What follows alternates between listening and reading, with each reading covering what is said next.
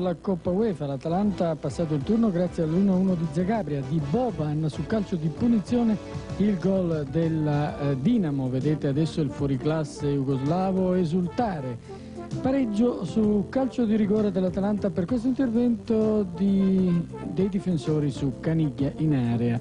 Il gol dell'Atalanta viene messo dal dischetto in rete da Evair.